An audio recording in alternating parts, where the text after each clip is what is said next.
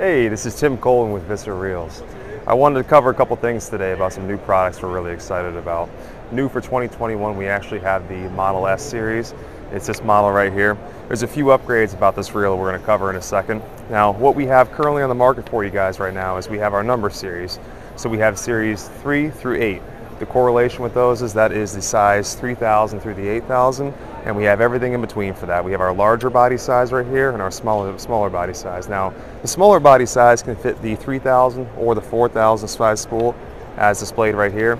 As you move up to our larger body size, it gets through the 5, 6, 7, and 8. Right now, currently, this is the 8 size. This same rotor can house the 7.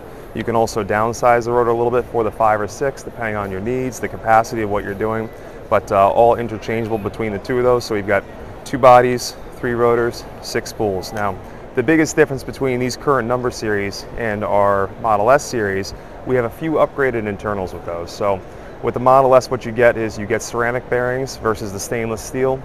A little bit more longevity, a little smoother out of the ceramic bearings. Now on all of our internals, as far as the pinion, your main gear, and the spool shaft itself, what happens is we, we coat that with a uh, titanium nitride.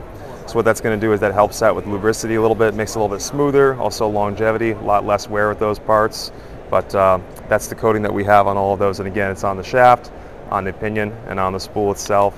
But uh, that's what we have as far as the upgrades between the two of these guys. But uh, yeah, we're excited to bring this to market. This is not available just yet. We're looking about October time frame for it. But uh, yeah, we're uh, very excited about the product and it's going to be something we're uh, really looking forward to.